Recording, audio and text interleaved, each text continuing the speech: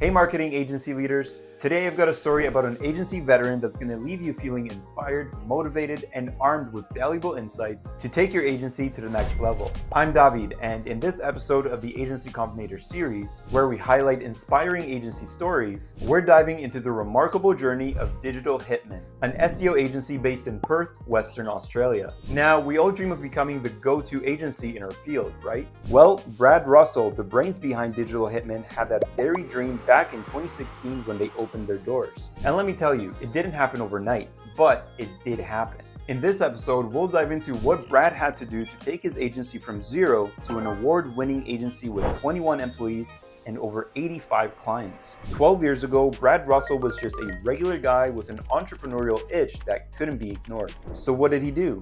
he started a successful eBay store. Brad then landed a gig at Australia's largest kitchenware retailer, Kitchen Warehouse. After five years at Kitchen Warehouse, Brad was ready for the next big thing. He had honed his SEO skills and was eager to put them to use. So, what was his next step? He started Digital Hitmen in 2016 when he landed his first major client, a local eco accommodation provider in Perth. How did that happen, you ask? Well, it all began at a networking event where he met the owner of this accommodation business. They talked, they connected, and voila, an opportunity arose and Brad was ready to seize it. But it was just the early stages for Brad. Here's where the story gets even more exciting. Brad realized that he could take on more clients, but he couldn't continue working from his living room in pajamas as comfortable as it may be. He knew it was time to make some operational changes, and boy did he. He got himself a proper office and started building a team. As the team grew, they found themselves at a pivotal point when Brad's former business partner tapped into their social network and connected with a local influencer. Talk about a game changer.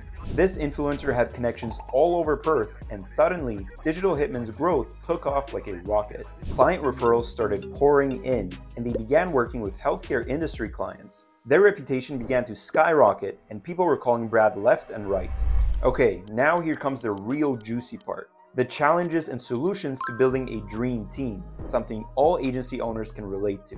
We're putting in long hours, particularly, you know, me and my, and my business partner. And we were just finding that some of the results started to drop off slightly because we just couldn't service those clients to the capacity that we needed to. So ultimately, our goal was never to be a, a burn and churn agency. So we basically wanted to have really long relationships with our clients. You know, it's easier to keep a client than find a new one. So uh, we wanted to continually get really good results, provide good service. So we had to make sure that we our, our service and our results didn't suffer as a result of staffing issues. As the agency continued to grow, clients kept rolling in, but there was a problem. They were stretched thin and the team couldn't handle the workload. This, my friends, is a classic good problem to have, but it's still a problem. We really needed someone yesterday so for us to put the uh, the job ads out and then um, spend four to six weeks going through all the applicants and you know getting them in the process and mm-hmm. ultimately not finding anyone, yeah, it was a bit disheartening. So what could Brad do? He knew he needed more highly qualified team members and he needed them fast. He had to follow a series of steps to land right though. They put out some job placement ads, but it seemed like they were attracting mostly junior candidates who needed extensive training. Frustration was brewing, and that's when Brad hired a recruitment agency that helped them find and hire four full-time staff members, who are still with them today. Yeah, you heard me right. Hiring agencies made a big difference. Brad considers it the best decision he's ever made.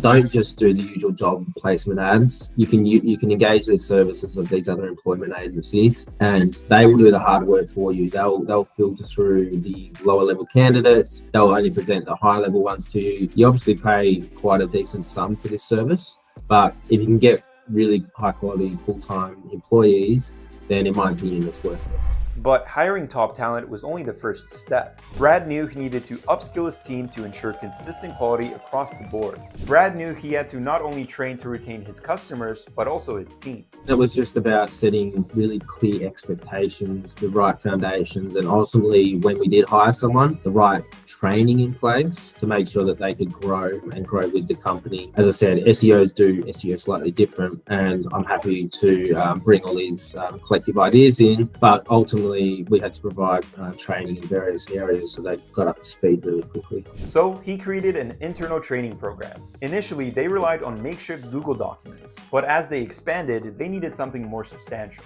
That's when they formalized their leadership team with specific department leads. This hierarchy provided clarity and streamlined training processes. It empowered the team members to know where to turn for guidance and decision making.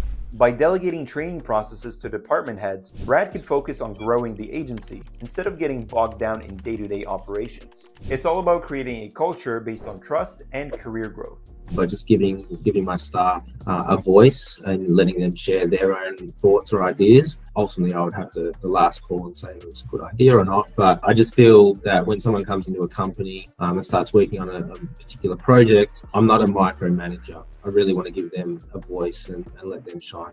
New hires are quickly immersed in this culture, receiving training from the heads of their respective departments. And guess what? The training doesn't stop after the probationary period. Brad understands that the digital marketing industry is constantly evolving, so they prioritize ongoing education. We also have regular internal training sessions. So once a month, we'll do a, a really thorough sort of, I guess you call it a workshop. Again, we'll pick a particular topic or a new trend in SEO. Um, myself and the head of SEO, Jess, will prepare content surrounding that. We'll prepare a little workshop, and that will be a really hands on sort of experience where we go through and show examples. As a result of this focus on ongoing education, the team saw a boost in employee engagement engagement, and the addition of more service offerings for clients, which further spurred their growth. It's just a great way to grow the, the business itself. So, by encouraging employees to hone their skills or develop further skills in other areas, you can offer additional services to your clients or even within SEO itself, you know, there's going to be new areas that pop up and new new features on Google, for example, that you want to target. So you're able to grow your business by offering um, additional services to your clients. With all the focus on culture and training, Brad has seen only one employee leave Digital Hitmen in the past years, a testament to their workplace culture and recognition program. Speaking of recognition, Brad has been focused on maximizing his team's potential. They're continuously revamping their training program, but for now, they're basking in the local recognition recognition they received. Digital Hitmen achieved notable recognition at the recent SEMrush Australia Search Awards, proudly securing the Best Blog Award and claiming the runner-up position in the competitive Best SEO Campaign category as well as third in the Best Integrated Campaign category. It all comes down to years of dedication and setting benchmarks for top-notch results in the local community. So there you have it folks, the incredible journey of Digital Hitmen, from a small team of two to a thriving agency with 21 employees and 85 clients.